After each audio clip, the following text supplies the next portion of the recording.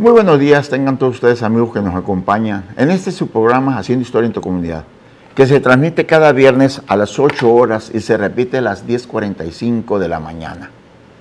Nos encontramos transmitiendo en este su canal de televisión, Mega Canal, desde la ciudad de Los Mochis, donde las palmeras alcanzan el cielo y se mecen borrachas de sol.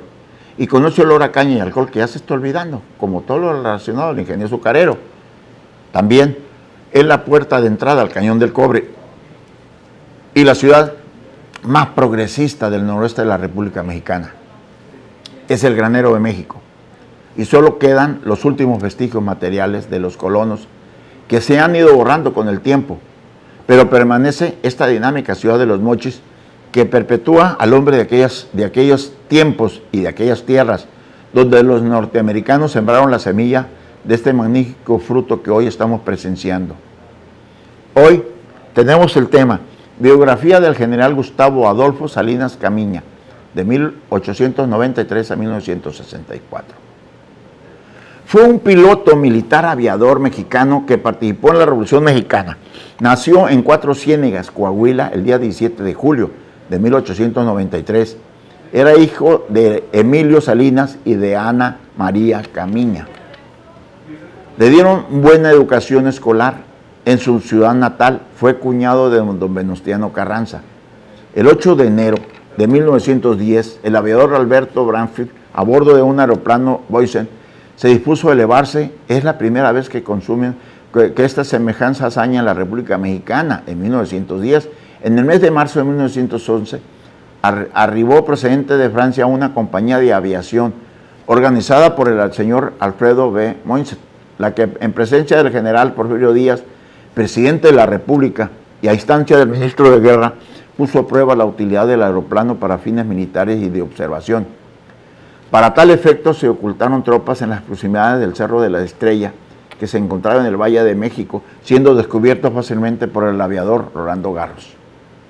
El gobierno del presidente Francisco I. Madero hizo arreglos con la Casa Mois, establecida en los Estados Unidos de Norteamérica, para la adquisición de, de un aeroplano y el adiestramiento de los pilotos. Y el 30 de noviembre de 1911 en la, aparece don Francisco. Madero, en ese entonces presidente de la República, tras haber efectuado un vuelo sobre la capital federal en, una, en, un, en unión del piloto francés Deutsch. El señor Madero fue el primer mandatario en el mundo que abordó un aeroplano. Julio de 1912, una foto para la historia, de izquierda a derecha está Alberto Salinas, Carranza, Gustavo Salinas, Camiña, Juan Pablo Adalfaro Suárez, Horacio Ruiz, Gaviña y Eduardo Aldesores Suárez. Ellos fueron los primeros pilotos de México. El gobierno del presidente Francisco I. Madero envió también a estudiar a la Moisés International School de Long East en Nueva York a los hermanos Gustavo y Alberto Salinas, que se graduaron ese mismo año y poco después a Horacio Ruiz y a los hermanos Juan Pablo y Eduardo Aldazoro. En el mes de septiembre de 1912 arribaron a la ciudad de Torreón los pilotos Francisco Álvarez y Héctor Warden con dos aeroplanos Moise Blake, quedando visión del jefe de la División del Norte general Victoriano Huerta, no llegaron a ser utilizados por no considerar de interés la superioridad de su empleo. Ofreció sus servicios a Francisco y Madero, lo cual lo incorporó al ejército para que combatieran las fuerzas de Pascual Oros con Chihuahua. En 1913 se unió al movimiento constitucionalista y fue comisionado a las fuerzas de Álvaro Obregón. A, fines de febrero bombardeó un el barco Guerrero. Obregón lo nombró después con ese ataque jefe de la artillería en las fuerzas contra Doroteo Aranga, el mejor conocido como Francisco Villa. Fue el primer general de división que tuvo la Fuerza Aérea Mexicana. Desempeñó el cargo de agregado militar en Francia, Inglaterra, Bélgica. Además dirigió la Fundación Nacional de Artillería. A su retorno en Nueva York, los hermanos Salinas se retiraron al estado de Coahuila y el 24 de febrero de 1913 al desconocer el gobernador de dicho estado, don Venustiano Carranza, al gobierno de Victoriano Huerta, los jóvenes Salinas se incorporaron al movimiento revolucionario. Al arribar a Sonora el señor Carranza, Gustavo Salinas se hizo cargo del avión Curtis, que había sido adquirido por el gobernador interino del estado de Sonora, don Ignacio Pesqueira. Existía el anhelo de que el ejército de la revolución contara con un aeroplano ese afán se hizo realidad cuando el primer jefe del ejército constitucionalista ordenó al mencionado piloto que comprara en los Estados Unidos de Norteamérica un avión. Don Venustiano Carranza entregó el aparato a la columna que el general Álvaro Obregón mandaba en el noroeste, y ese avión le tocó en suerte convertir la aviación en arma de guerra, al efectuar varios bombardeos aéreos en el entredicho puerto de la costa del Pacífico. Dejó caer en varias ocasiones su carga de bombas sobre el cañonero guerrero de la Marina de Guerra adicta al régimen guartista, obligando a retirarse en cada ocasión mar afuera. Mientras tanto, Alberto Salinas, colgado de teniente, fue comisionado por la primera jefatura del gobierno constitucionalista para pasar a Chihuahua a las órdenes del general Francisco Villa. Con anterioridad y por iniciativa del citado oficial Gustavo Salinas, se habían pedido el Moist International tres aviones de último modelo, un Moraine Schult que debería ser entregado en la población fronteriza de Ciudad Juárez. Asimismo, se contrataron los servicios del señor Francisco Santarini para que se hiciera cargo del mantenimiento de dicha máquina. La finalidad que se perseguía con el empleo de estos aviones era la de obtener una rápida victoria en el ataque a Torreón por las fuerzas a las órdenes del general Villa, habiéndose tratado, sin embargo, su construcción más tiempo del previsto, hubo que prescindir de ellos durante estos memorables hechos de armas.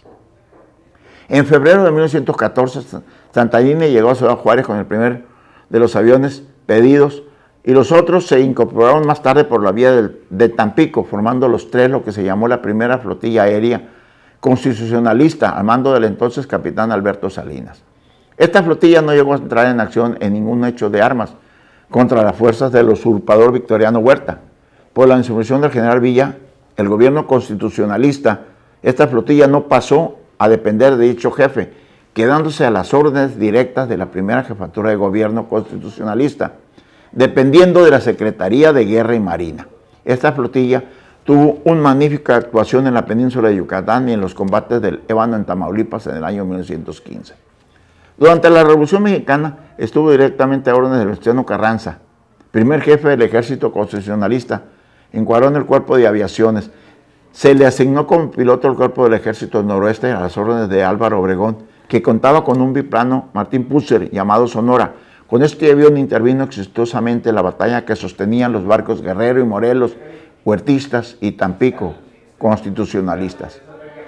Gracias a las bombas que dejó caer desde su avión sobre el Guerrero, este vio, esto se vio obligado a abandonar el combate y el hecho ocurrió el 14 de abril de 1914 en la bahía de Topolobampo y Sinaloa y fue la primera batalla aeronaval del mundo. Impulsó la fabricación de aviones y su reparación en los talleres nacionales de construcción aeronáutica, teniendo una destacada actuación en la campaña de 1924. Fue, jefe del Departamento de Aeronáutica, impulsó la fabricación de aviones y su reparación entre los talleres nacionales de construcción aeronáutica, teniendo una destacada actuación en la campaña de 1924. En 1929 se, se adhirió a los rebeldes escobaristas Años después fue director general de la Aeronáutica Militar durante la Segunda Guerra Mundial y fue uno de los organizadores de la Escuadra 201, ese Escuadrón 201 que combatió en Filipinas. Ganó el Campeonato Nacional de Tiro con Pistola y Rifle e impulsó este deporte.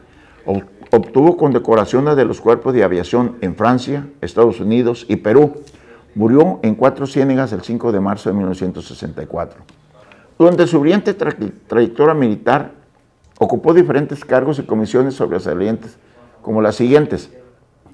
Fue jefe del segundo regimiento de artillería en campaña, comandante general de artillería del Cuerpo del Ejército del Noroeste, agregado militar de México en Francia, director de la Fundación Nacional de Artillería, jefe del Departamento de Artillería, jefe del Departamento de Caballería, jefe de la Comisión de Estudios Siderúrgicos, comandante de la Fuerza Aérea Mexicana en dos periodos diferentes, director de Transportes Militares, estableció en América Latina la primera planta heliotrolítica para la purificación del cobre y una planta para la cristalización del sulfato de cobre.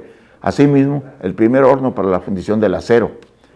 Durante la Segunda Guerra Mundial se desempeñó como titular de la FAM. A lo largo de su carrera militar obtuvo los siguientes premios y reconocimientos, tanto nacionales como internacionales diploma y condecoración como legendario de la Legión de Honor, de, Honor Mexicano, Condecoración del mérito técnico militar de primera clase. Una condecoración del mérito revolucionario. Condecoración del mérito aeronáutico de primera clase. Condecoración de perseverancia del quinto, cuarto, tercero, segundo y primera clase. Condecoración de la Cruz Peruana de Aviación de primera clase. Condecoración de las alas de la aviación francesa. Cruz de Guerra de primera clase por 132 combates comprobados, todos ellos a favor de la revolución y del gobierno legalmente constituido. A fin de conmemorar su 51 aniversario luctuoso, autoridades civiles, militares y educativas rindieron homenaje al general de división piloto aviador Gustavo Adolfo Salinas Camiña en el Panteón Municipal. Estamos aquí para rendir el, fruto al primer hombre que utilizó un avión en combate naval durante la Revolución Constitucionalista, bajo las órdenes del general Álvaro Obregón. Bombardeó el buque huertista Guerrero en la bahía de el 14 de abril de 1914, pasando a los, a los anales de la historia mundial. Poco después se realizó una guardia de honor en la tumba del desaparecido héroe de la Revolución Constitucionalista, colocando una ofrenda floral mientras la banda de guerra de, la Estación Aeromilitar número 3 tocaba la marcha silenciosa como homenaje al glorioso sinaguense que deseó morir en las tierras que lo vieron nacer, cuando el, lugar merecido era un campo santo para las personas distinguidas. Sin embargo, prefirió descansar en el Panteón Municipal de Cuatro Ciénegas. Falleció el día 5 de marzo de 1964. Muchísimas gracias por su atención. Nos vemos el próximo viernes.